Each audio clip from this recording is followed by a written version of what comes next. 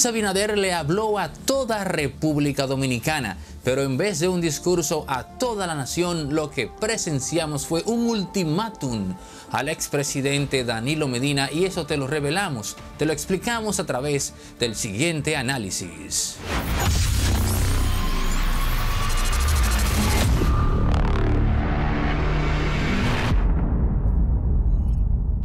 Cuando se trata del juego de poder, nunca me ha gustado ser amante de las coincidencias, pero casualmente el mismo día que Luis le habló a toda la nación en donde pues se refirió de forma categórica al tema de la corrupción en digamos los últimos dos minutos de ese discurso, resulta que ese era el día también de la lucha internacional contra la corrupción.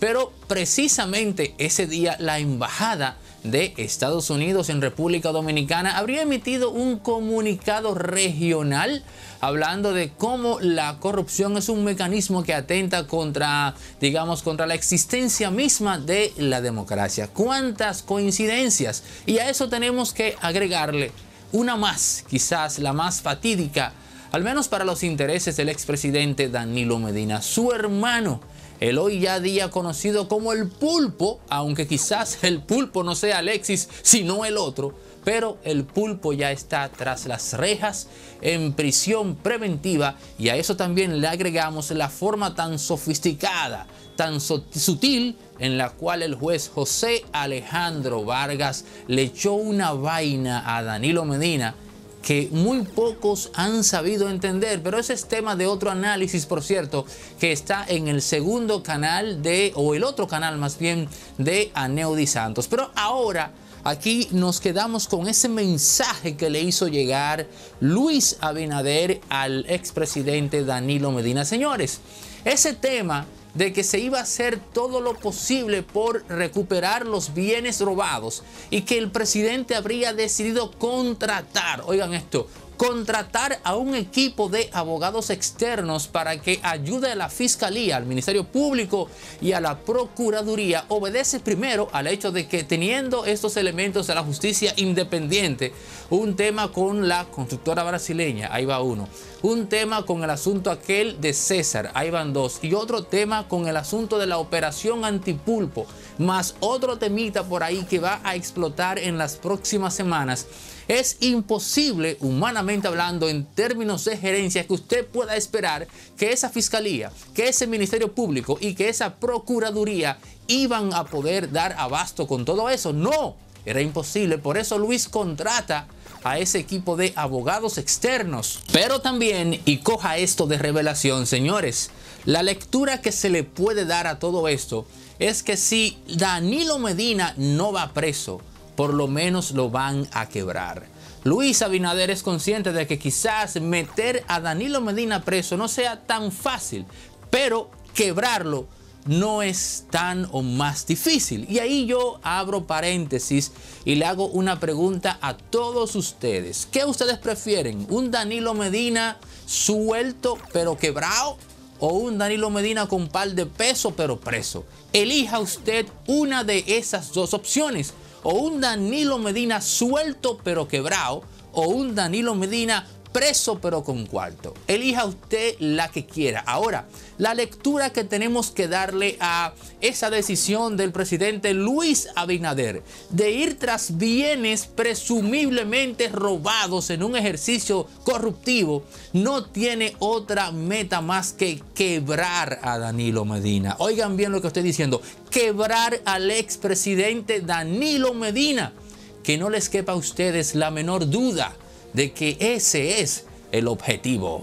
Casualmente, ese mismo Danilo Medina habría quebrado a Leonel Fernández. Yo no estoy hablando de que Leonel Fernández no tiene dinero, no.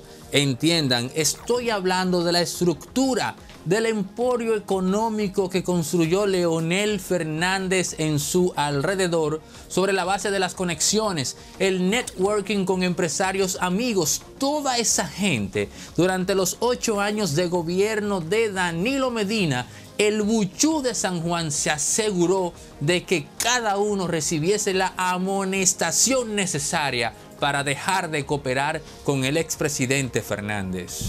Y luego de haber lanzado la pregunta de que usted prefiere un Danilo Medina preso pero con cuarto o un Danilo Medina suelto pero quebrado, es tiempo de hablar de un rumor que está corriendo una información no confirmada, pero que quise compartir con ustedes porque al menos el relato es lógico. Señores, eh, qué pena, vergüenza ajena con Gonzalo Castillo.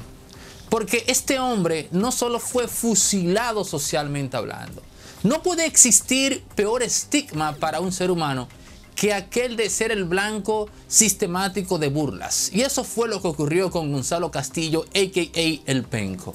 Pero si usted cree que todo quedaba allí, no. El asunto ha seguido tocando más fondo, porque ahora resulta que esa persona por la cual Gonzalo Castillo tuvo que sacrificar su seniority social, su respeto colectivo de los demás hacia él, no, digamos, eh, no agradece, digo yo. ¿Y a qué viene esto, señores? Miren, he recibido o he escuchado más bien, esa, esa es la, la, expresión que debo utilizar.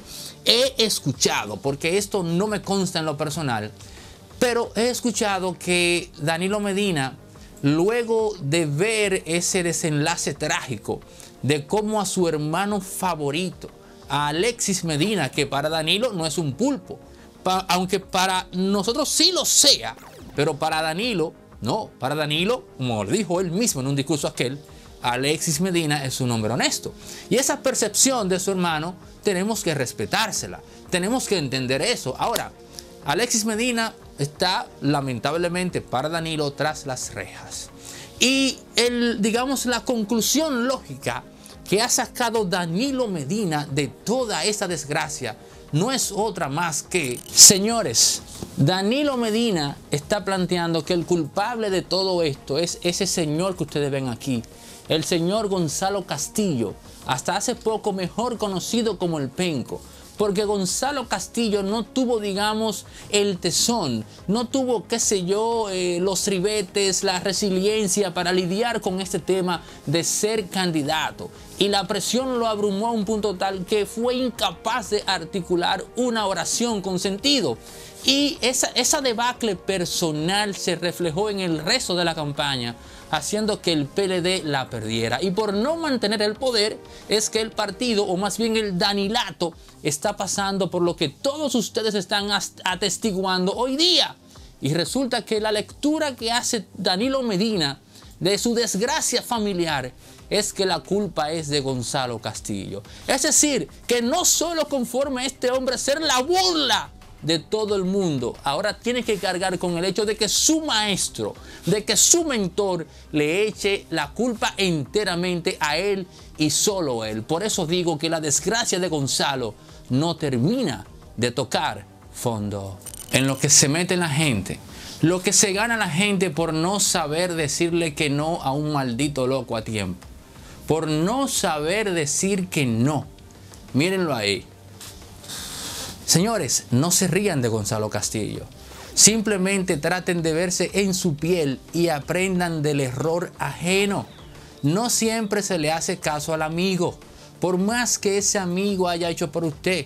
Usted no sabe en qué punto ese amigo simplemente quiere usarle de preservativo, como trató de hacer el Buchú de San Juan precisamente con el penco. Y ahora que es inútil para nada, lo último que hace es echarle la culpa de todo. Eso, eso es un asunto humanamente que da vergüenza, pero más que vergüenza, da asco.